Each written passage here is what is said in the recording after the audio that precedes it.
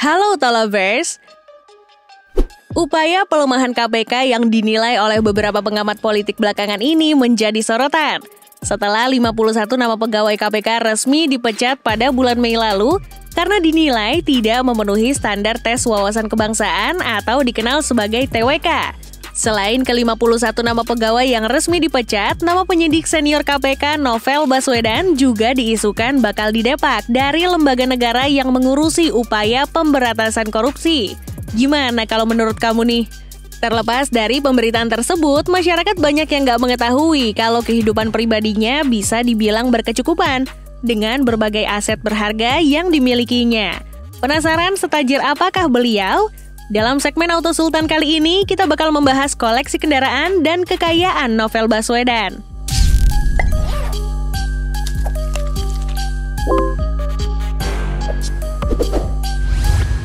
Novel Baswedan merupakan salah satu penyidik senior di Komisi Pemberantasan Korupsi.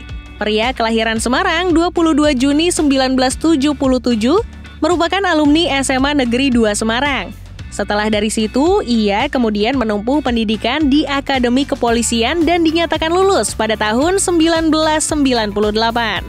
Setahun kemudian, ia langsung ditugaskan ke Bengkulu dan pada tahun 2004 menjabat sebagai Kasat Reskrim Polres Bengkulu yang berpangkat komisaris.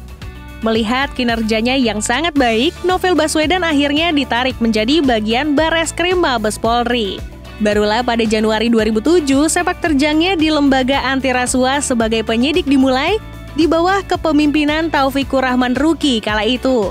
Kontribusinya di lembaga tersebut boleh dibilang sangat baik.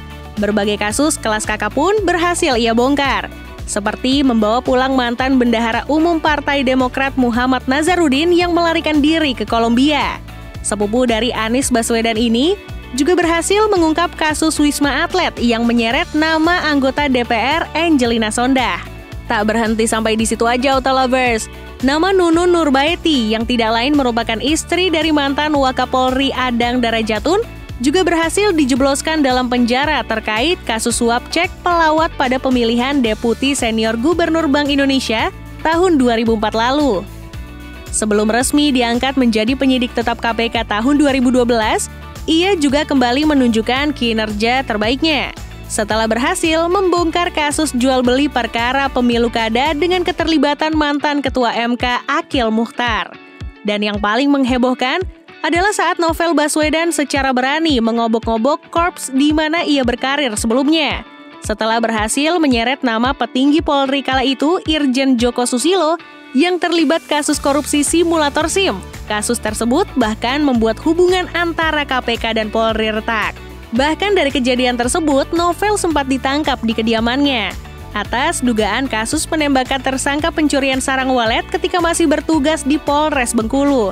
Akan tetapi, dari hasil sidang kode etik Polri kala itu, Novel dinyatakan tidak bersalah. Berdasarkan laporan harta kekayaan penyelenggara negara tahun 2018, total kekayaan yang dilaporkan oleh Novel Baswedan telah mencapai 4,652 miliar rupiah.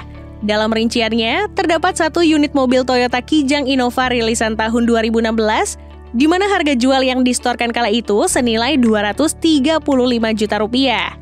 Selain berupa kendaraan, aset di sektor properti sepertinya menjadi prioritas penyidik senior yang menjadi korban siraman air keras beberapa tahun silam ini, di mana ia memiliki tanah dan bangunan yang berlokasi di Jakarta Utara dengan nilai 2,75 miliar rupiah.